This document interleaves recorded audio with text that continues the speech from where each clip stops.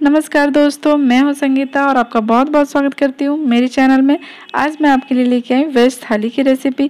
हम सभी के साथ कभी ना कभी ऐसा सिचुएशन ज़रूर बनता है, जब बहुत ही शॉर्ट नोटिस में या फिर अचानक आए मेहमान के लिए खाना बनाना हो तो मुझे, हम लोगों को समझ में नहीं आते कि कैसे बनाएँ और क्या क्या बनाएँ।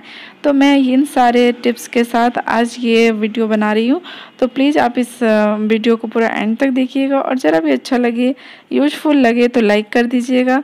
और यदि मेरे चैनल पर फ़र्स्ट टाइम आए हो तो चैनल को सब्सक्राइब कर ले, साथ ही बेल आइकन को ऑन कर ले, ताकि मेरे सारे नए वीडियो के नोटिफिकेशन सबसे पहले आप तक पहुँच सके।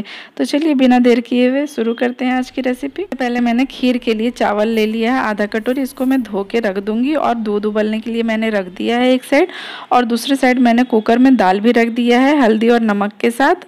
और मैं यहाँ पे तीसरे गैस पे कढ़ाई गर्म करके उसमें मैंने दो चम्मच जैसा तेल डाला और इसमें मैं थोड़ा सा आधा चम्मच जीरा डालूँगी और कुछ गरम मसाले जैसे दालचीनी एक टुकड़ा दो हरी इलायची दो लौंग और एक बड़ी इलायची।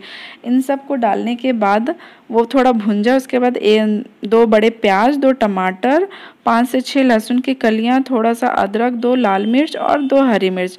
इन सब चीज़ों को डाल के हम लोग थोड़ा सा भून लेंगे।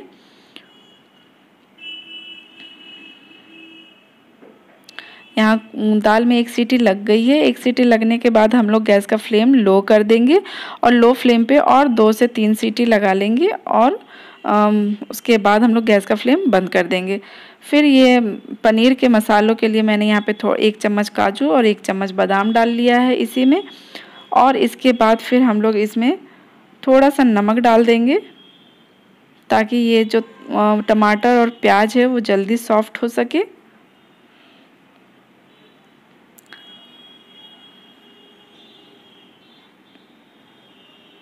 और इसको ढक के हम लोग पकने के लिए छोड़ देंगे एक से दो मिनट के लिए। थोड़ा प्याज टमाटर सॉफ्ट हो जाए तो देखिए यहाँ पे कुकर में सीटी लग चुका था दो से तीन तो फिर यहाँ मैंने फ्लेम बंद करके दाल को नीचे उतार लिया ठंडा होने के लिए। और यहाँ हमारा प्याज और टमाटर भी थोड़ा भुन गया है तो अब इसमें हम लोग आधा ग्लास जैसा पानी डाल लेंगे। और इस इस मिक्सचर को पाँच से छः मिनट के लिए पकने के लिए छोड़ देंगे ढक के, ताकि प्याज, काजू, बादाम, जो भी चीज़ें डालें इसमें, वो अच्छे से सॉफ्ट हो जाए, ताकि हम लोग जब इसको पीसें मिक्सर ग्राइंडर में तो दानेदार नहीं बल्कि सॉफ्ट सा स्मूथ सा पेस्ट बन जाए। तो उसमें पानी डालने के बाद हम लोग अब यहाँ पे भिंडी मैंने धो के ले लिया अच्छे से साफ़ करके। इसको मैं ऐसे छोटे टुकड़ों में काट लूँगी। मैं भिंडी की यहाँ पे सूखी सब्ज़ी बना रही हूँ। यहाँ पे दूध में भी उबाल आ गया है खीर के लिए। तो दूध को उबलने के बाद थोड़ा सा इसको गाढ़ा कर लें पाँच मिनट तक उबाल के। उसके बाद चावल जो धो के रखा था हम लोगों ने ऑलरेडी उसको डाल देंगे। खीर के लिए हमेशा चावल पहले से धो के रखें तो उससे खीर बहुत सॉफ्ट बनता है और बहुत टेस्टी बनता है। तो चावल को उसको मिला दें। और यहाँ देखिए, ये प्याज और टमाटर और जो मसाले थे वो भी सॉफ्ट हो गए। तो अब यहाँ पे गैस का फ्लेम बंद कर देते हैं और इसको ठंडा होने के लिए अलग से बर्तन में निकाल लेते हैं। फिर मैं उसी कढ़ाई को साफ़ करके ले ली हूँ। अब यहाँ पे मैंने भिंडी बना लूँगी। तो भिंडी के लिए यहाँ पे मैंने तीन से चार चम्मच जैसा तेल डाला। मैं सरसों तेल यूज़ करती हूँ। आप इसकी जगह कोई भी तेल यूज़ कर सकते हैं। उसमें आधा छोटा चम्मच जीरा डालूँगी और दो हरी मिर्च लंबे काट के उसको मैं डाल दूँगी।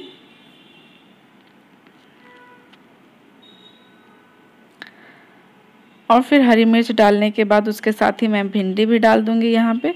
इसको थोड़ा सा मिक्स कर लेंगे, उसके बाद इसमें टेस्ट के अकॉर्डिंग नमक डाल लेंगे। और भिंडी को हम लोगों को अभी ढक के नहीं पकाना है। तुरंत ढक देने से भिंडी बहुत तो चिपचिपी बनती है फ्रेश नहीं बनेगी। आ, तो इसलिए हम लोग अभी भिंडी को नहीं ढकेंगे। अभी खुले में ही इसको हम लोग पाँच मिनट तक ऐसे फ्राई कर लेंगे। और बीच बीच में खीर को भी चलाना ज़रूरी है। उसको छोड़ ना दें नहीं तो वो नीचे से जल जाएगा। इसमें मैं ड्राई फ्रूट्स काट के डाल दूँगी। जैसे काजू बादाम किशमिश आप अपने पसंद के कोई भी ड्राई फ्रूट्स इसमें डाल सकते हैं। और खीर को हमेशा बीच बीच में चलाते रहें और दूसरी तरफ़ मैं भिंडी को भी बीच बीच में चला ले रही हूँ। और थोड़ा सा जब सॉफ्ट हो जाए भिंडी तो इसमें मैं एक कटा प्याज और एक कटा टमाटर ये डाल लूँगी। और ये प्याज और टमाटर मैंने दाल के तड़के के लिए भी काट लिया है एक साथ। तो इन सब बातों का ध्यान रखें कि जब आप खाना बना रहे तो बीच बीच में दूसरे रेसिपी का तैयारी भी करते जाएँ।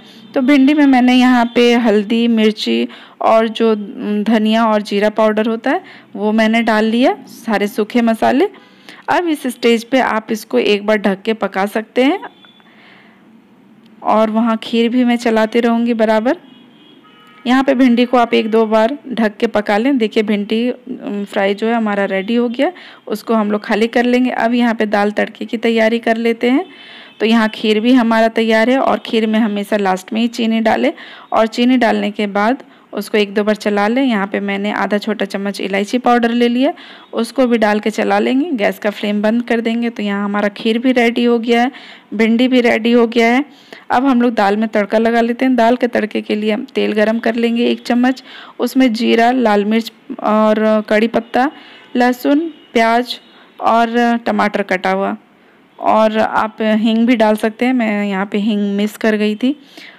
तो इन सब चीज़ों को डाल के और अच्छे से इसको भून लें और टमाटर को गलने तक इसको पका लें।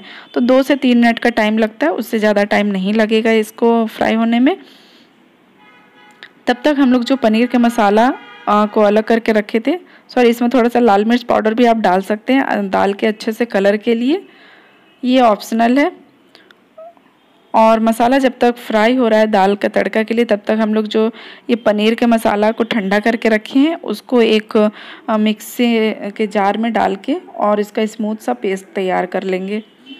यहाँ देखिए, ये बिल्कुल अच्छे से फ्राई हो गया है। अब इसमें दाल मिक्स कर देंगे। यदि आपको दाल थोड़ी पतली रखनी है तो यहाँ इस जगह पे आप थोड़ा सा पानी भी ऐड कर सकते हैं। बट मैं गाढ़ी दाल हम लोग पसंद करते हैं तो यहाँ पे मैं पानी नहीं डाल रही हूँ।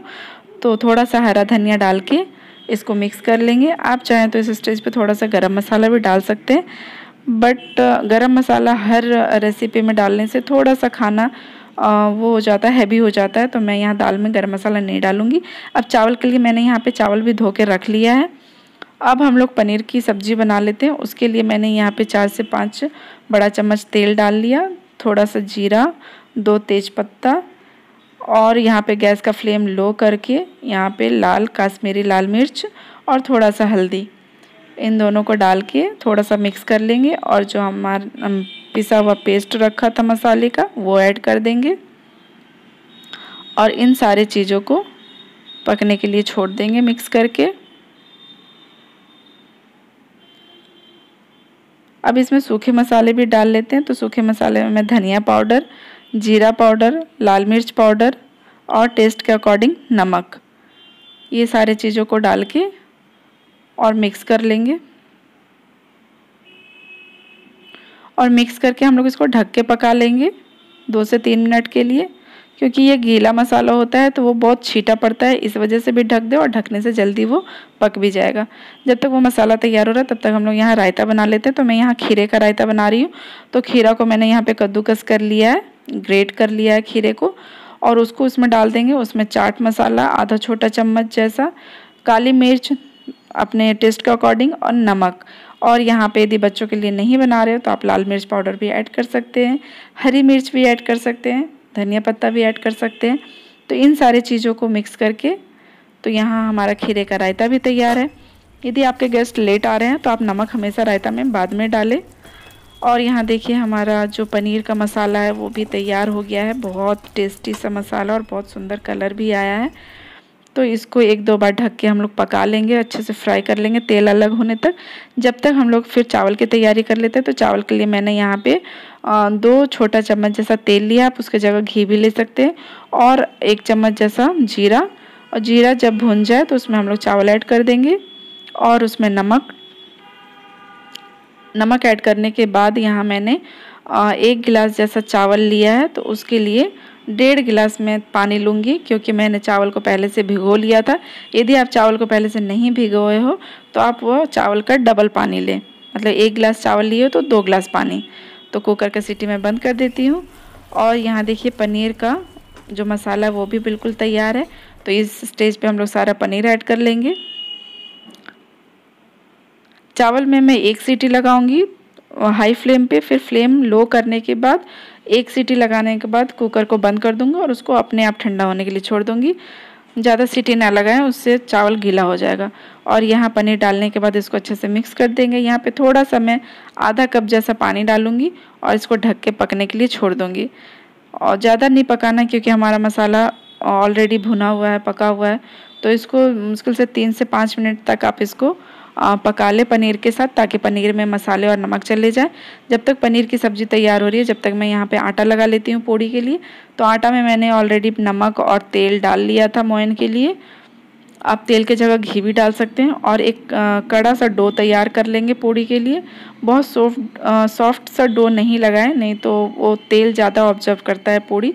तो हमेशा कोशिश करें कि थोड़ा सा रोटी से ज़्यादा थोड़ा टाइट रहे पूड़ी का डो। तो यहाँ पे थोड़ा सा एक बार और मसल लेंगे और फिर छोटे छोटे लोई तोड़ के और फिर उसका हम लोग पूड़ी बेल लेंगे।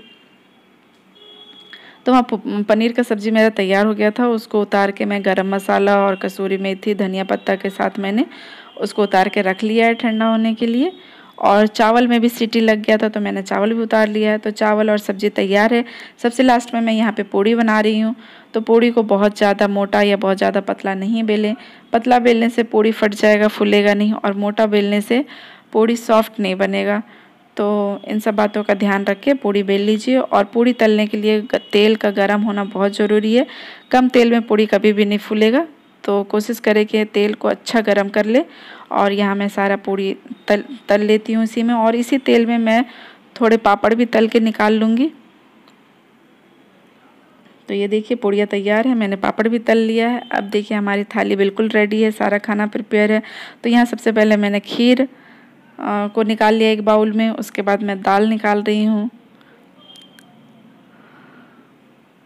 बहुत ही टेस्टी खाना बना है फ्रेंड्स और बहुत ही झटपट और बहुत ही यूनिक मेथड से। आप टाइम को कैसे मैनेज करें? मैंने बताया है कि एक सब्ज़ी जब तक बन रही तब तक आप दूसरे सब्ज़ी की तैयारी कर लें या फिर तड़के की तैयारी कर लें, आटा लगा लें। तो ऐसा आप करोगे तो आपको बहुत ही कम टाइम में बहुत सारा खाना आप बना पाओगे। तो ये बहुत ज़रूरी होती है कि आप टाइम को देखते हुए काम करें और जहाँ जिसकी ज़रूरत है, जो पहले करने की ज़रूरत है, वो पहले करें। ये है हमारा खीरे का रायता। ये इसको मैंने नमक पहले डाल लिया था, लेकिन आप कोशिश करें कि जब आपके गेस्ट आए, तभी आप नमक डालें। चावल को मैंने ऐसे बाउल में दबा के और ऐसे निकाल लिया ताकि देखने में भी अच्छा लगे और खाने में भी अच्छा बना ही है। जीरा राइस मैंने बनाया, इसलिए सिर्फ़ जीरा डाला था मैंने। यहाँ हमारी फुली फुली दो पूड़ियाँ और थोड़े से सलाद में रखूँगी और पापड़ फ्राई करके तो ये हमारा बिल्कुल वेज थाली रेडी है। कैसा बना है, ज़रूर बताइएगा कमेंट बॉक्स में। अच्छा लगा हो तो लाइक ज़रूर कर दीजिएगा। So thank you thank you so much my dear friends bye bye take